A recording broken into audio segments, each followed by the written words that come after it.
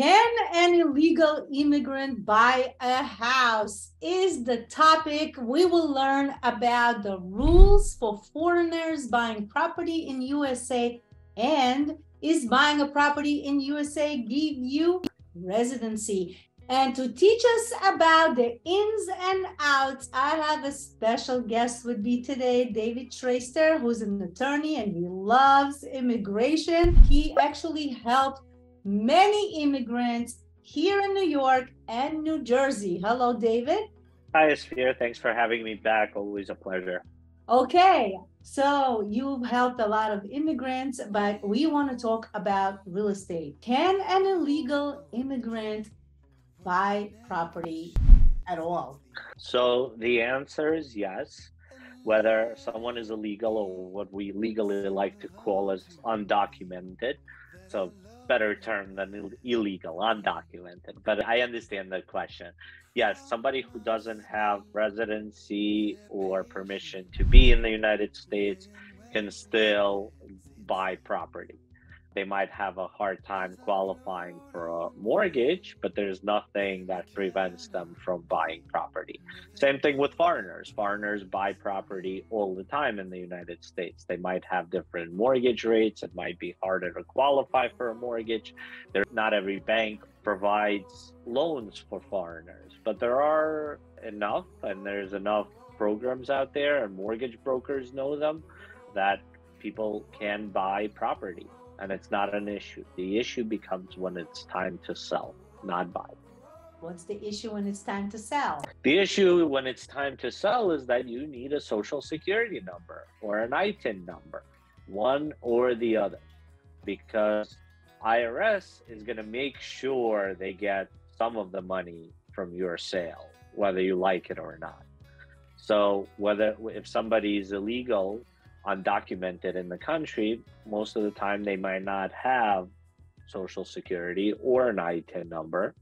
And that will be a problem when they have to sell. They'll have to go and apply for one, which could delay things a lot. IRS isn't really quick to respond or do things very quickly. The other part is the withholding on the transfer tax if somebody, those people who have sold property may remember one of the forms they signed is a FIRPTA form. It's a declaration that you are non foreigner. If you don't sign this form, then there's a withholding from you based on the country that you're from.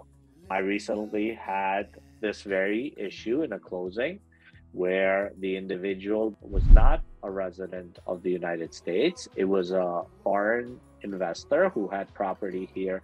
In reality, they bought property for their child to live at while the child attended school in the United States so that they wouldn't have to pay rent and they could have their own apartment. Then the child graduated and left and they rented it for a year or two and then they decided, well, I don't want to be a landlord from overseas. I want to sell it everything is fine. The realtor signed the contract. They found a buyer. We're approaching closing. All of this stuff comes out that this person doesn't have social security and doesn't have a green card, doesn't have a citizenship in this country.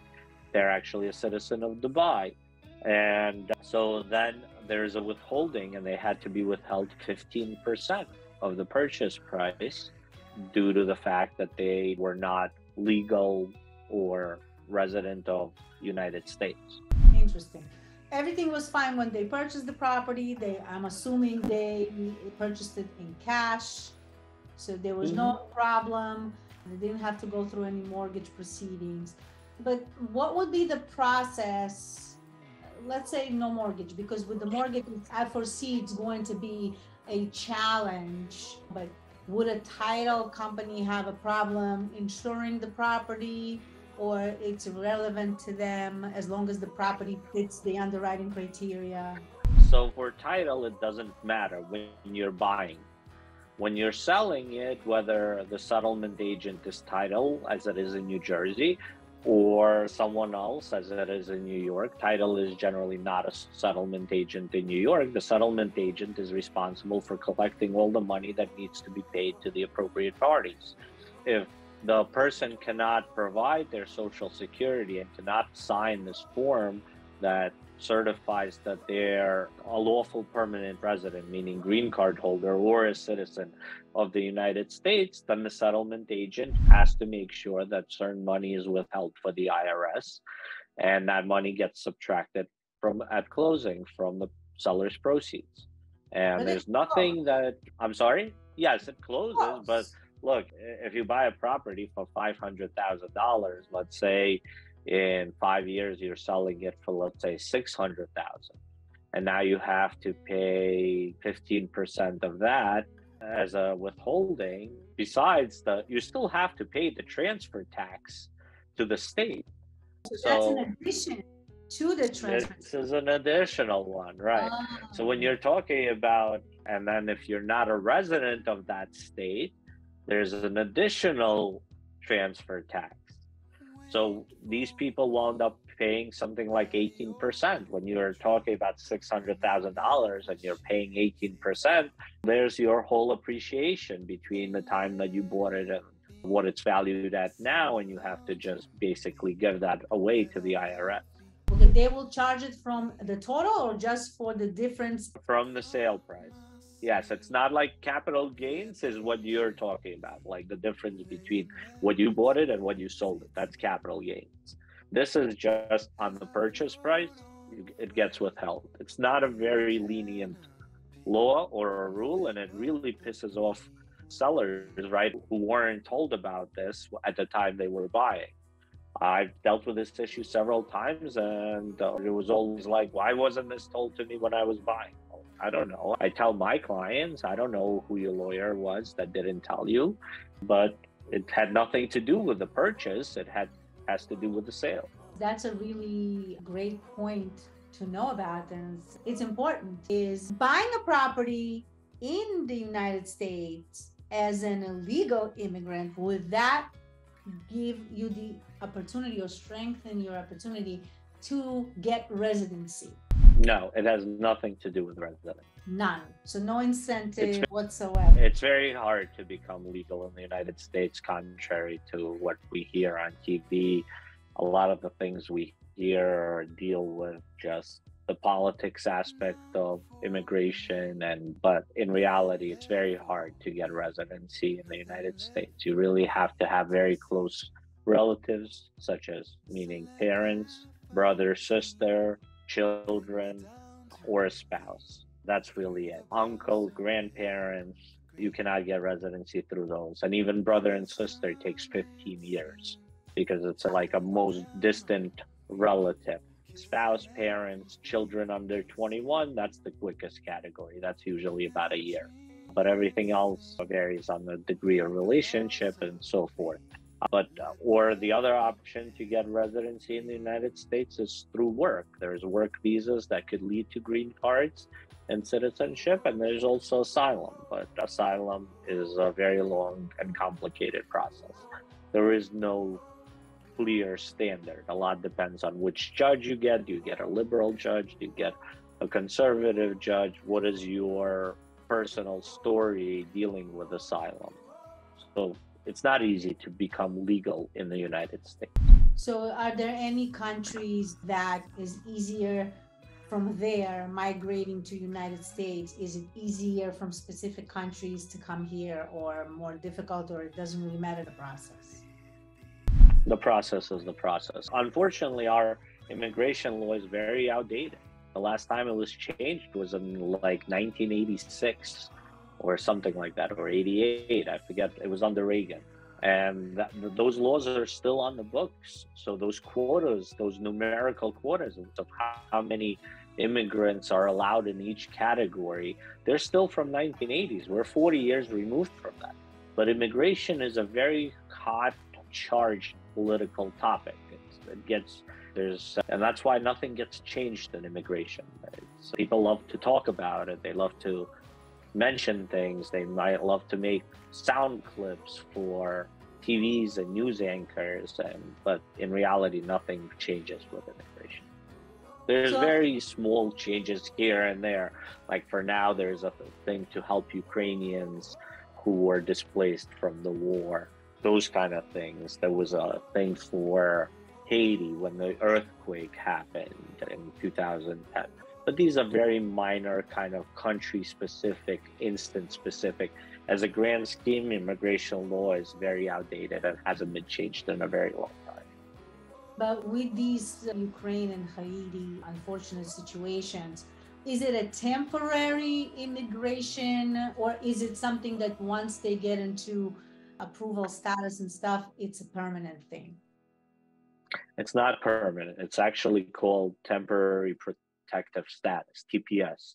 That's the abbreviation, but that's what it stands for temporary protected status. The US gives you this temporary status where you could be legally in this country. You are given permission to work, but it's not a green card. It doesn't lead to a green card and it doesn't lead to citizenship.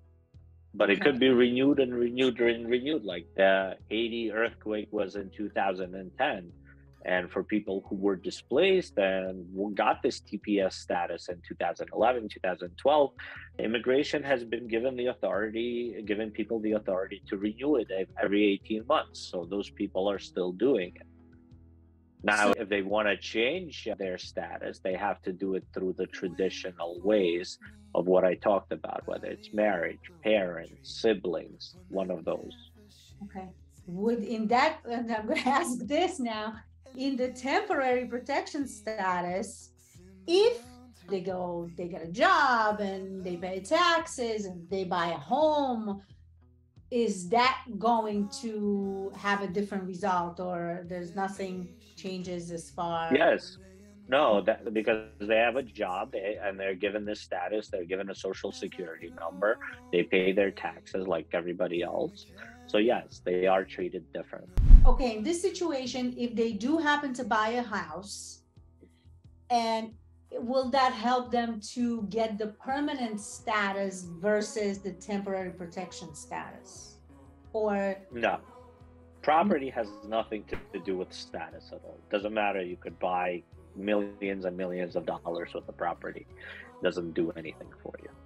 But it will have a difference if they sell Correct. that status that they have. And what Correct.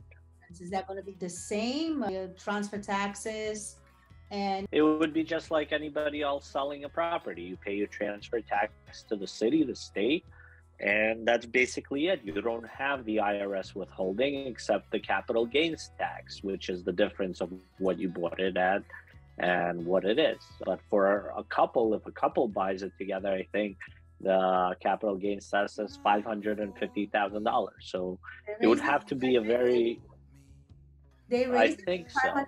It was always 500. They raised it to 550. Then you might be you you might be right. I was uh, like, I, I didn't I know that.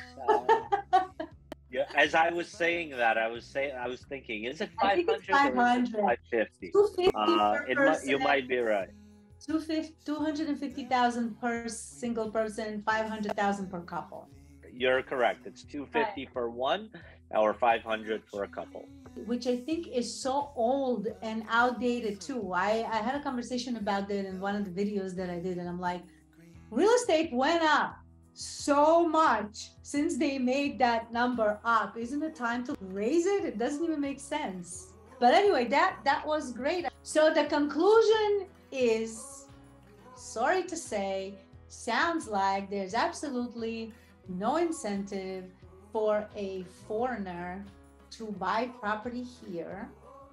They can't use it for residency or help you get residency. You can't use it for all these things. But the good part that I found is that on a temporary protection status, if you are paying your taxes and buying property and it goes up in value you could sell it and you can you will be obligated to whatever a united states citizen is obligated to. Yep. so yep. that was great information. I encourage everyone to check out more of our videos that i did with david. We have a lot of great information there for you. It's very educational. And the best part is you got it for free. So tune in like the channel, subscribe, click on notification bell, share with friends that you feel is going to be helpful to them. send us your questions to keeping it real with Esphir. It's right here on your screen and it's going to be in the description. Ask us questions via the comments. We want questions via the comments because we want a lot of people to benefit from the answers and we will see you on the next video. Thanks for watching